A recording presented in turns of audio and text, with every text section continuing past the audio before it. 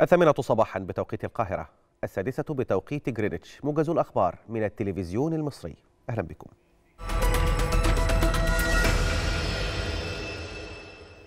أكد الرئيس عبد الفتاح السيسي الأهمية التي توليها مصر لتعزيز التنسيق والتشاور الثنائي مع إيطاليا لتصدي للعديد من التحديات الإقليمية في منطقة المتوسط. جاء ذلك خلال استقبال السيد الرئيس لأنطونيو تاياني نائب رئيس الوزراء ووزير الخارجية الإيطالي. وأوضح المتحدث باسم رئاسة الجمهورية أن هذا اللقاء عكس الاهتمام المتبادل بتطوير مجالات التعاون المشترك خلال الفترة القادمة حيث تم تناول مناقشة سبل تطوير العلاقات التجارية والاستثمارية بين البلدين إلى جانب التعاون الصناعي المشترك وكذلك أيضا التعاون في مجال أمن الطاقة لا سيما في مجال الغاز الطبيعي وذلك من خلال الشراكة الاستراتيجية بين مصر وبين شركة إين الإيطالية. فضلا عن تطوير مجالات التعاون في القطاع الزراعي. كما استقبل أيضا وزير الخارجية سامح شكري نظيره الإيطالي أنطونيو تاياني حيث عقد الوزيران اجتماعا ثنائيا مغلقا تلته مباحثات ثنائية موسعة بحضور وفدي البلدين. وقد أكد هذا الاجتماع على العلاقات التاريخية الصلبة التي تجمع بين البلدين وشراكتهما الاقتصادية التي تمثل نموذجا للتعاون بين ضفتي المتوسط.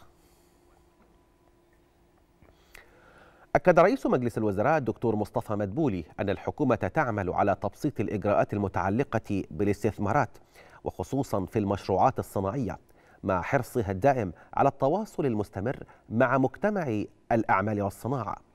جاء ذلك خلال اجتماع مع رئيس هيئة الاستثمار حسام هيبة لاستعراض بعض الإجراءات والتصورات الخاصة بتحسين مناخ الاستثمار في مصر. من جانبه أشار رئيس هيئة الاستثمار إلى أنه يتم في الفترة الحالية إعداد مجموعة من الإجراءات لتحسين مناخ الاستثمار منها ما يتعلق بآلية تخصيص الأراضي للمشروعات الاستثمارية بالإضافة إلى تطوير منظومة استخراج التراخيص المطلوبة.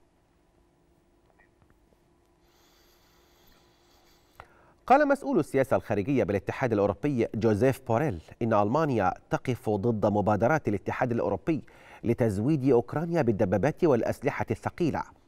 وقد أوضح بوريل أن القرار الألماني يرجع أساسا إلى عدم رغبتها بسبب توقعاتها أن ذلك من شأنه أن يمد أمد الصراع. وأشار إلى أن أوكرانيا في حاجة لإمدادات لإمدادات بالدبابات حتى تتمكن من احتواء الضربات الروسية وصدها. في الوقت ذاته أكد بوريل أن حجم التمويل العسكري للاتحاد الأوروبي لكييف بلغ ثلاثة مليارات يورو ونصف من الصندوق الأوروبي. أعلن الرئيس الأوكراني فلاديمير زيلينسكي أن توريد عشرات الدبابات إلى أوكرانيا لن يغير الوضع بشكل جذري.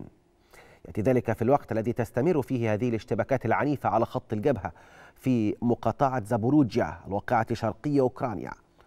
وقد أوضحت مصادر روسية أن القوات الأوكرانية انسحبت من إحدى هذه القرى بهذه المقاطعة.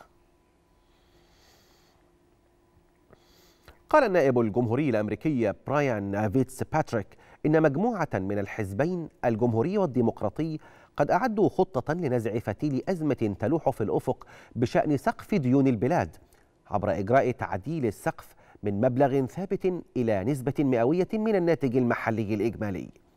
وقد أضاف فيتس باتريك الرئيس المشارك للمجموعة المعنية بحل المشكلات المهمة المتعلقة بالسياسات أضاف أن الاقتراح سيغير سقف الديون الاتحادي الحالي للحكومة والمحدد حاليا عند 31 تريليون دولار.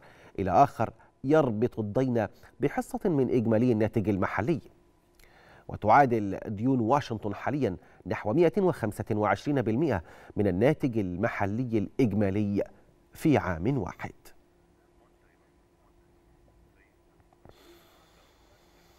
أمر الرئيس الأمريكي جو بايدن بتنكيس الأعلام الأمريكية في المباني العامة تكريما لضحايا إطلاق النار الجماعي في مونتري بارك بولاية كاليفورنيا. يأتي ذلك في الوقت الذي أعلنت فيه شرطة مقاطعة لوس أنجلوس أن الرجل الذي كان مطلوبا لإطلاقه النار في كاليفورنيا خلال السنة القمرية الجديدة قد عثر عليه ميتا نتيجة انتحاره. وقد أسفر حادث إطلاق النار عن مقتل عشرة أشخاص وإصابة عشرة آخرين. نهاية الموجز وعودة لاستكمال باقي فقرات صباح الخير مصر بعد هذا الفاصل.